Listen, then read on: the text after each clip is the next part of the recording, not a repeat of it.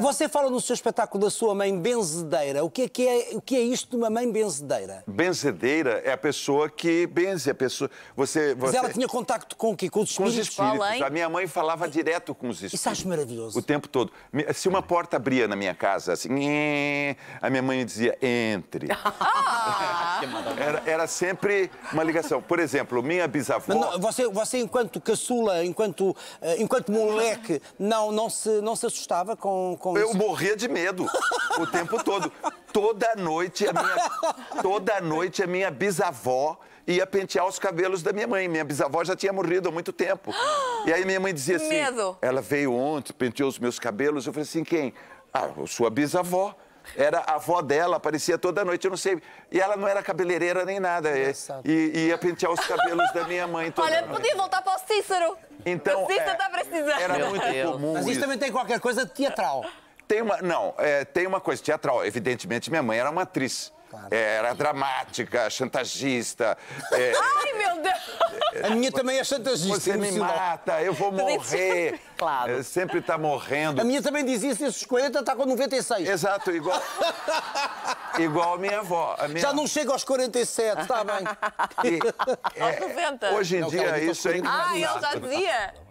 Com o tempo a gente acha isso engraçado, mas na época era muito pesado, né? Eu Não, eu, que... acho, eu acho maravilhosa essa É. história, ter uma mãe que. Eu acho. Lúdica, né? minha- lúdica. é, mãe- Não com um contacto direto com os Claro. espíritos. Não havia médicos, então minha mãe benzia. O que que é benzer? Tirar os maus espíritos É. de você. Cláudio, você está bem, está tranquila. Minha mãe sabia a energia. Mas ela que a curava pessoa- as pessoas? Curava as Mas pessoas. isto é algo que se fala já há muito mais tempo no Brasil do que aqui. Aquela história de, do- da água do mar, Sim. de, É a de cultura Imanjá, popular, é cultura é, popular. é a cultura aqui nossa chegou mais tarde. espiritualista, Mas aqui também tem muitos Não, temos, mu- e temos muito lá em cima, É, é isso, tem temos muito muito no norte do país, no interior, É. os curandeiros. Isso. não é? Curandeiros, é, ao são os benzedeiros. É exatamente isso. Minha mãe benzia quebranto, ma- mal olhado. Mal olhado, você sabe o que é, né? Mal olhado, se, sim. se você olha para uma coisa que o outro tem com muita cobiça... Nós sabemos nós o que é mal nós olhado. sabemos. Nós, nós, Nós todos todos. sabemos o que é mal olhado.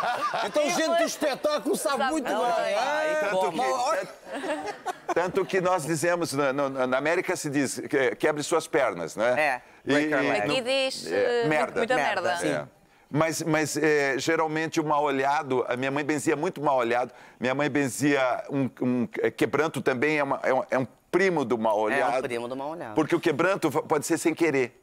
A pessoa é Ah, esse eu não bondosa, sabia. ela é boa, ela, ela gosta, mas aqui, mas, Mas ela tem uma in- uma é uma inveja, inveja é- É incontrolável. quebranto. E vocês acreditam nisto tudo? Porque o povo brasileiro tem aqui Ah, uma dimensão sim. mística muito interessante. Muito. O que é que fazem Sério? eh, para contrariar isso? Não, mas eles acreditam.